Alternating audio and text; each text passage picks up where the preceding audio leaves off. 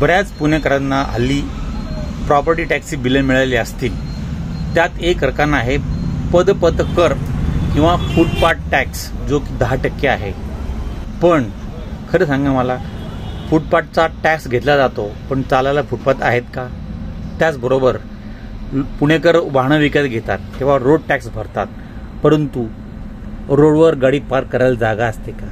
आणि नो पार्किंगमध्ये गाडी पार्क केल्यावर गाडी टोईंग करून उचलली जाते आणि साधारणतः सातशे ते साडेसातशे रुपये भरल्यानंतर गाडी सोडली जाते.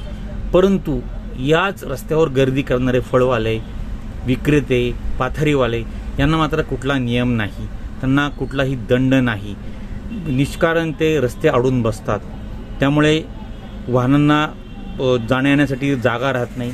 वाहने हळूहळू जातात आणि त्याव त्याचबरोबर पेट्रोल डिझेलचा व्यय होतो. प्रदूषण वाढते.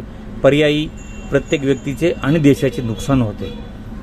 तर जर सरकार टॅक्स घेत असेल तर त्या सुविधा सरकारने देणे क्रमप्राप्त आहे.